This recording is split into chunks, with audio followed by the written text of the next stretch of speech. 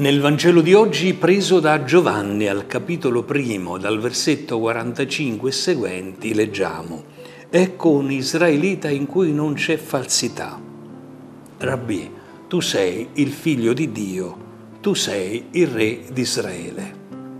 Oggi è la memoria liturgica dell'Apostolo San Bartolomeo, che nel Vangelo è chiamato Natanaele.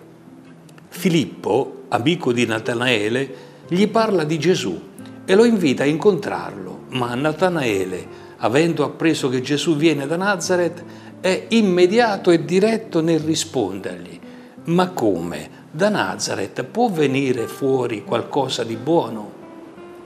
C'è l'insistenza di Filippo, vieni e vedi. Gesù quando vede Natanaele che gli si avvicina gli dice, ecco davvero un israelita in cui non c'è falsità. Natanaele resta sorpreso. Gesù gli fa capire che è un uomo giusto, semplice. Gesù vede cosa c'è nel suo cuore. L'incontro con Gesù lo aiuta a capire che il progetto di Dio non sempre è come la gente immagina o desidera che sia.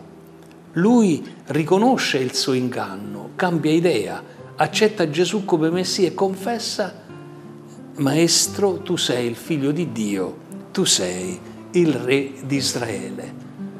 Bella la mediazione di Filippo che conduce a Gesù Natanaele.